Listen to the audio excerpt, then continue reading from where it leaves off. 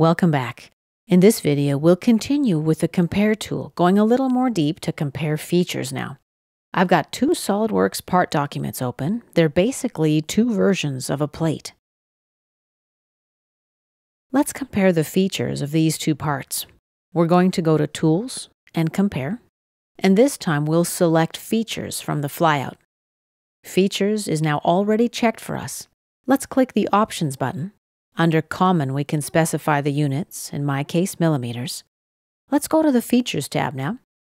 We have a Color tab and a Report tab.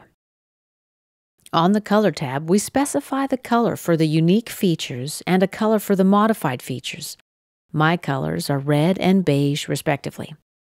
On the Report tab, we can choose an image of the current view only, that's what's currently in the graphic area, or we can use additional views that we specify by clicking Add Remove Views.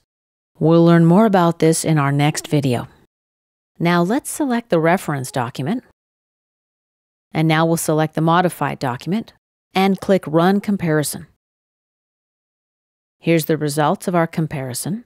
The features unique to each part are shown in red, so that's the smaller holes in the graphic area. The modified features are in beige, the fillet, the inside face, of the larger hole. Let's select Fillet 2 in Part A straight. The fillet is now highlighted in both documents in the graphic area. Below, we see the radius of 15 millimeters in the reference document, Part A, and 20 millimeters in the modified document, Part B. There's callouts in the graphic area that help us find the features also. Here we see that the M5 hole only exists in the original part. And once again, we have callouts that identify the location of the hole.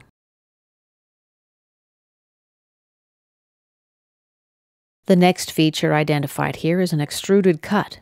Down below, we can see which parameter of the cut was modified, in this case, sketch geometry. Lastly here, we've got the M8 hole. It's unique to Part B, I highlight it in the tree and can see it highlighted in the graphic area with the callout. There's a checkbox here, Keep Colors on Close. If we check this box, when we close the Compare Features tool, the colors we see in the graphic area are permanently assigned to the part. So that'll be red for the holes, beige for the fillet, and the inside face of the larger hole. Lastly here, we've got the option to save the report specifying name and location. We're going to look more at reports in a subsequent video in this course. For now, we'll just cancel out. And this concludes our tutorial about comparing features